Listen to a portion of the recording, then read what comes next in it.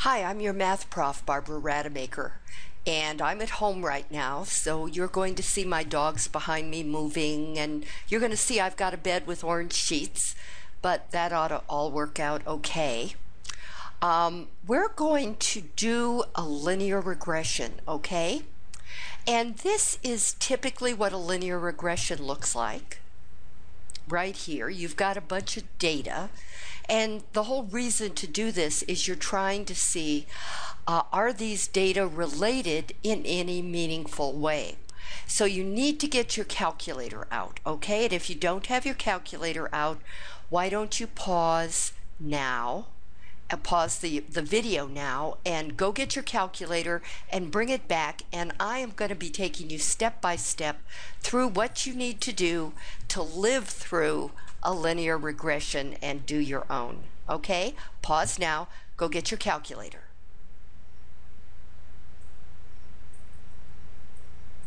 Okay, you're back.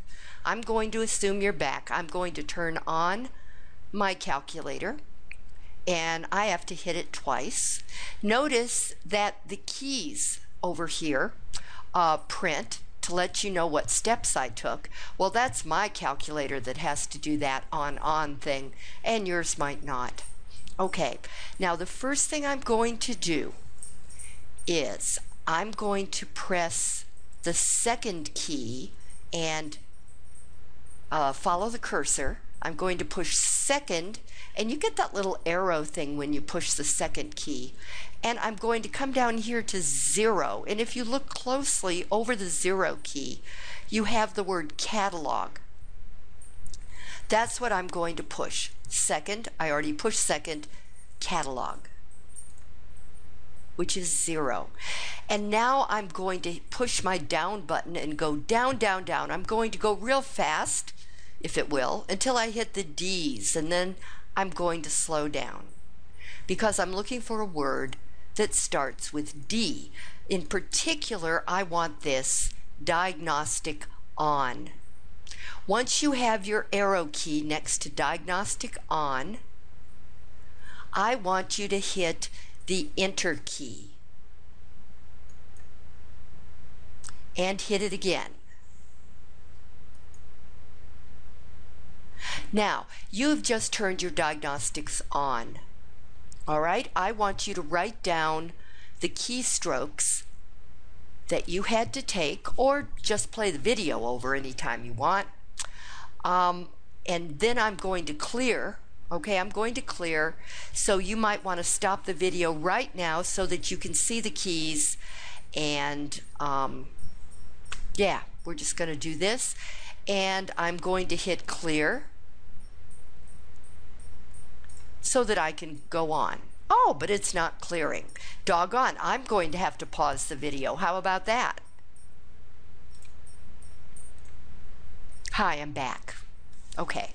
Now, this is what I'm going to do. What we just did, well, I'll tell you when we get there. You did something that was very necessary, though.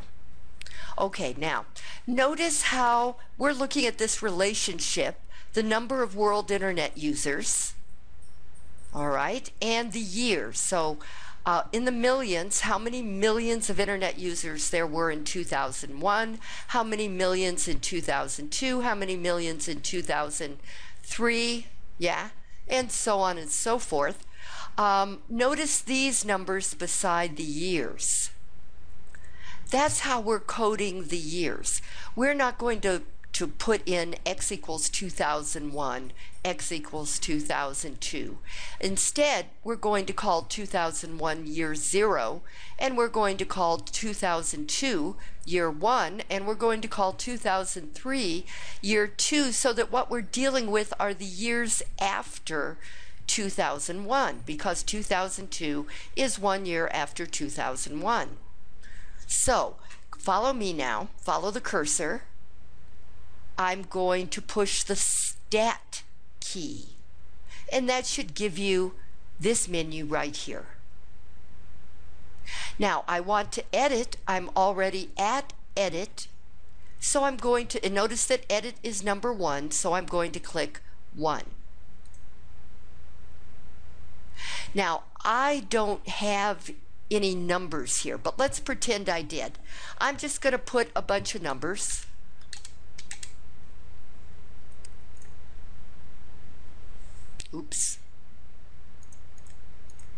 And over.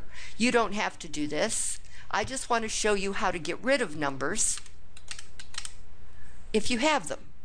Suppose you have numbers in here. We have to clear out all of the old numbers so that we can put in the new numbers.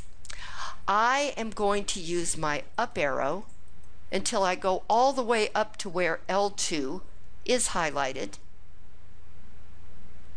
Then I'm going to push clear and enter. Notice that makes all of my data go away. Now I'm going to push the left arrow key.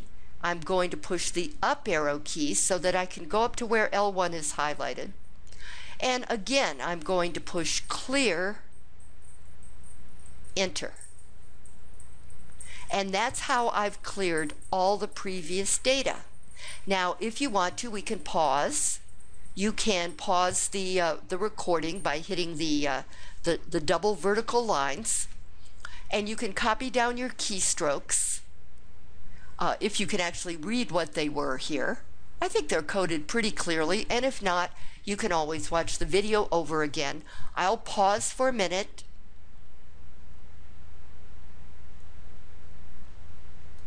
Okay, now you're back.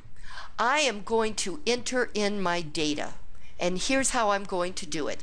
I'm going to put in the L1 data first. And notice that L1 is really the letter X. These are the years.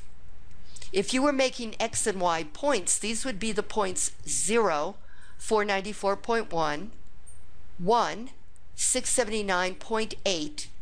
All right, so what we really have here is a T table. I'm going to put in all of my X coordinates right here, 0 through 7. So here we go. 0, enter. 1, enter. 2, enter. 3, enter. 4, enter. 5, enter. 6, enter. 7, enter. And then I'm going to use my up arrow key to go back to the number 1. Right there. Once you're at number 1, use your right arrow key to jump over to the L2 column and carefully enter your data from here. We need matching data, so whatever number is next to the zero, put that in for the zeros. So this is going to be 494.1. Your decimal point is right here. Then I hit enter. 679.8. Enter. 790.1. Enter. 935 point zero, don't really need the point zero, enter. One zero four seven point nine, enter. One two one seven point zero, you don't need to bother with point zero. One four zero two point one, enter. And one five for 2.5 enter. Now, hopefully I did all this right, although I never trust myself too much. So I double check. I'm Gonna go up, up, up. And 679.8 and 494.1. Yes! All right, we are ready for the next step. Go ahead pause the video, write down the keystrokes, and I'll be back.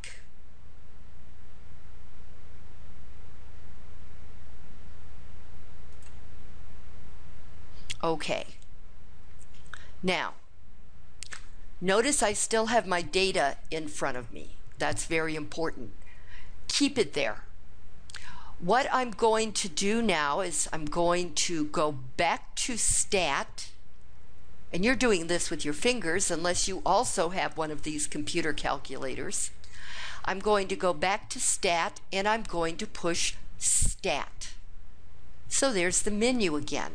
But this time I am not going to push edit. I'm going to use my right arrow key, hit it once, and go over to the calc menu. What I'm going to do is I'm going to go down to where I see LinReg AX plus B. All right? Probably yours is also at number four, but wherever it is, go to LinReg AX plus B. Okay, now we could have just hit the number four, but another way to do this is actually arrow down to the four and then hit enter.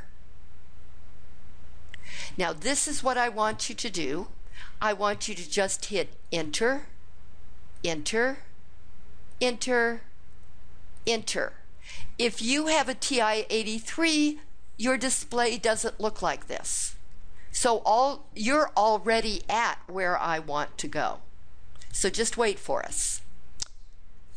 When the rest of you with TI-84s are down here at calculate, hit enter. Now, this is the display I want. This tells you what your linear regression is. We're using the slope intercept form of the line. Um, they use the international letter for the number in front of x. We use m in America, but internationally the most common letter is a. And they tell us what a is. This number goes in for the a, and this number goes in for the b. So that our uh, regression equation is y equals 146.9511905 x plus 499.2333333 and that's called our best fit or regression equation.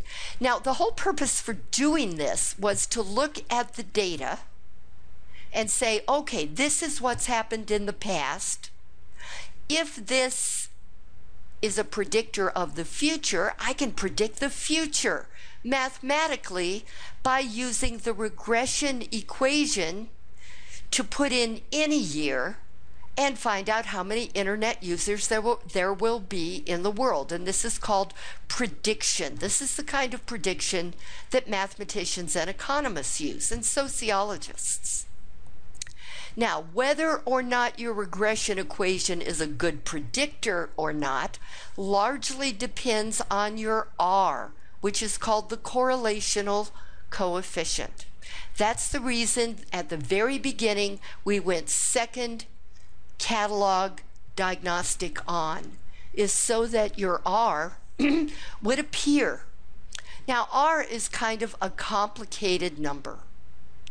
Um, if the number is very close to 1, and this one is, or if the number is very close to negative 1, that means you're probably going to do a, a, a, your, your equation could be a good predictor.